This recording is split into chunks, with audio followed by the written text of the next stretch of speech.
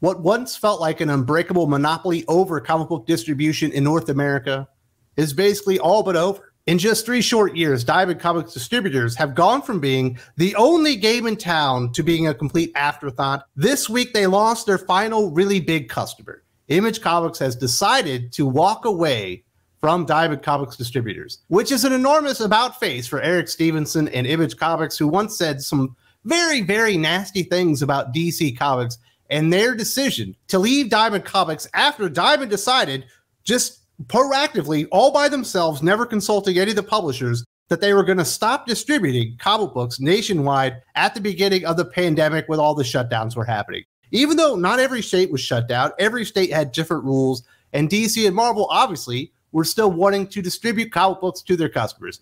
DC said, uh, no, sir, we're going to find some competition. In fact, we'll just create it out of whole cloth. And not surprisingly, only a few short years later, Diamond Comics are absolutely reeling. Where do they go from here? I have absolutely no idea. But there's basically no getting up from what just happened to Diamond Comics this week.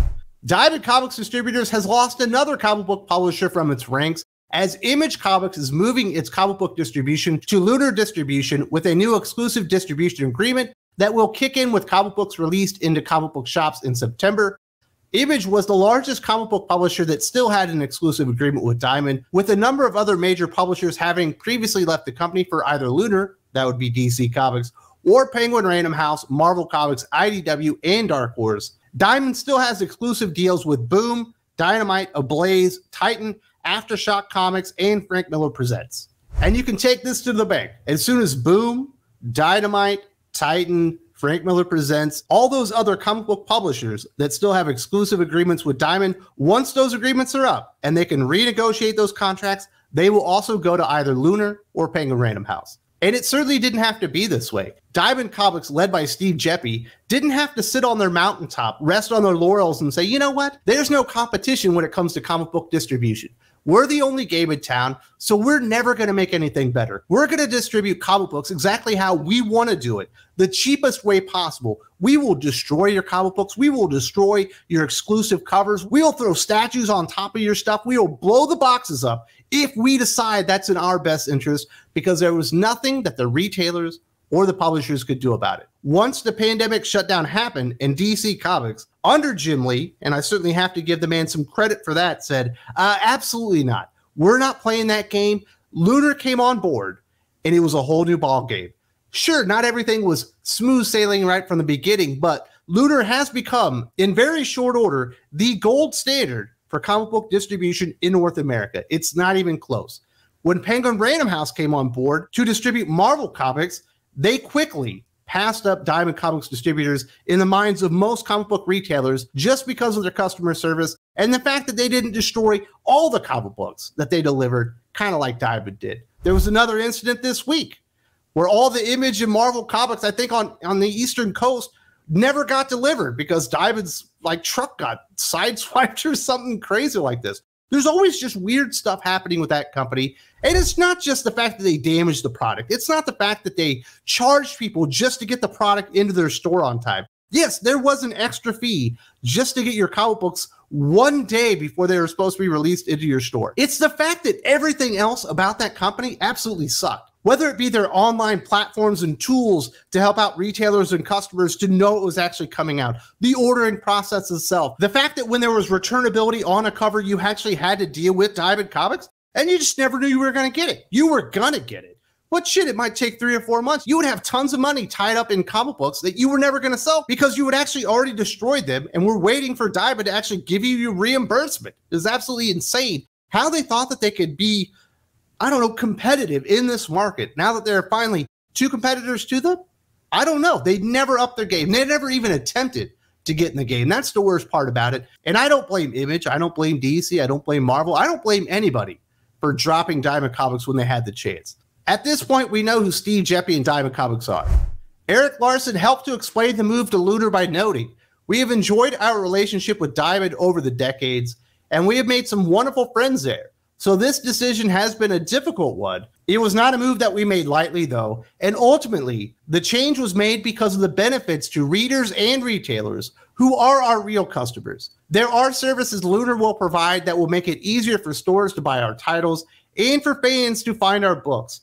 This is a big win for them, and we hope this new partnership is as strong and long lasting as the previous one. We wish Diamond nothing but the best as we look toward the future. This was to the benefit of our readers and retailers who are our actual customers. It turns out if you make things difficult, if you constantly destroy product, if you can't actually deliver comic books in time, even a company that wanted to be as loyal as Image Comics wanted to be, and it's clear that they did, they did not want to walk from Diamond Comics. Diamond Comics basically forced them to because it was not in the best interest of their real customers to actually stick with them as their exclusive comic book distribution company. Lunar is absolutely the gold standard right now, and I definitely applaud Eric Stephenson and Image Comics for going out there and making the right choice. A lot of people, because Marvel is is the industry leader, right? Let's go to Penguin Random House. That's where Marvel is. Well, DC, they might not have the sales and they might not have the reputation of Marvel right now, but they certainly have a better comic book distributor. There basically are zero damages when it comes to Lunar, and I hear everything shows up like five or six days early at a bare minimum. Now, that can cause some problems because there are some retailers out there that will sell comic books before their street date. And obviously, you can get some spoilers and stuff like that. But it's all to the benefit of the retailer and the readers. It benefits the retailers when the product shows up and they can actually sell it.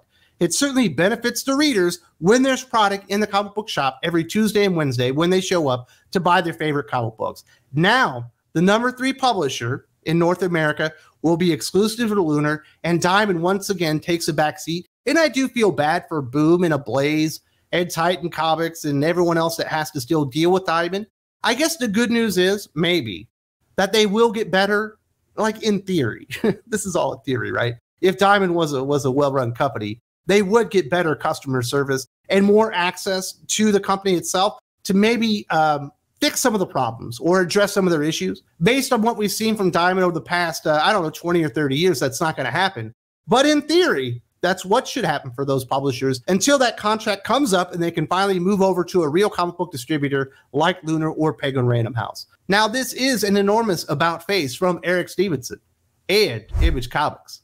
When DC originally left Diamond, Image Comics publisher Eric Stephenson responded to the move to cut ties, calling it a hasty, sociopathic decision made by people who do not care about the long term welfare of our marketplace, let alone about comic books. Well, I would say that Mr. Stephenson owes Jim Lee and DC Comics an apology.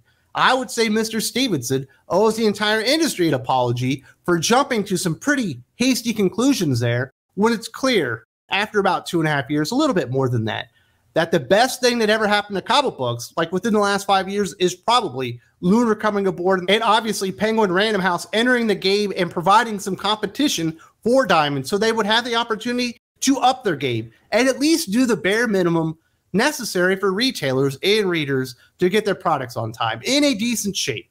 That never happened.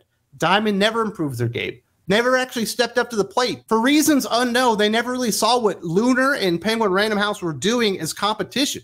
They're like, well, we still got Image. We can still wholesale Marvel comics, and we still got a lot of these smaller publishers. We'll be fine. We don't need DC anyway.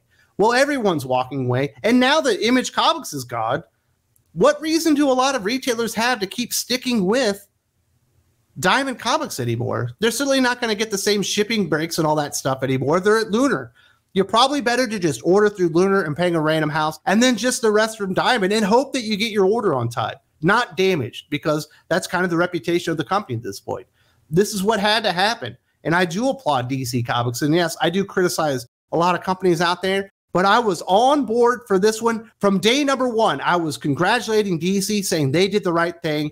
In fact, a lot of people, besides just Eric Stephenson, were very critical of DC's decision, and they ended up eating a whole lot of crow on this one. I've been talking about it for a while. DC Comics were absolutely right, and a lot of people were dead wrong. There's also a link in the video description.